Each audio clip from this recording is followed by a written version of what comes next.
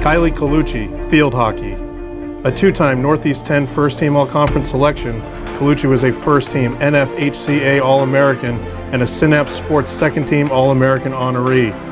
Starting 72 of 74 career games played, she finished her Assumption career as the program's all-time leading point scorer with 98 points, helping to lead the Hounds to a share of the NE10 regular season title. Paige Radomski, women's soccer. A team captain in biology and physical therapy major, Radomski owns a 3.11 grade point average.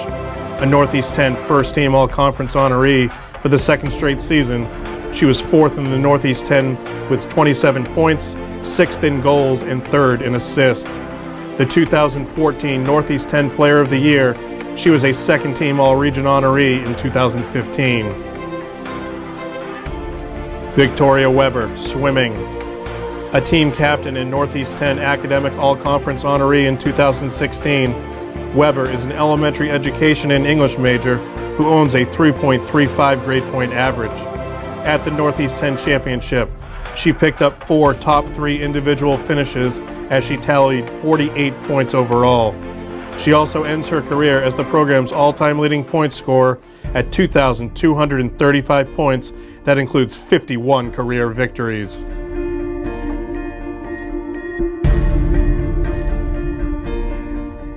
Winner is Victoria Weber.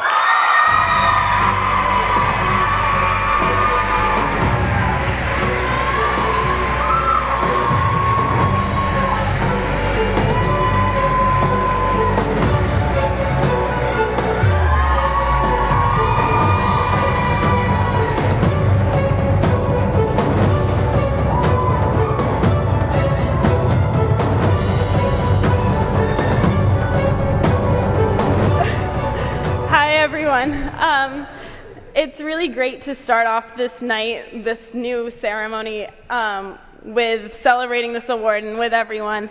Um, being a part of the Greyhound family has meant so much to me, and it's something that I will value throughout my years. Um, I really have to thank my team, my coaches, and everyone that supported me throughout this way. It's really been an incredible journey, and I couldn't have done it without you all. So thank you, and go Greyhounds.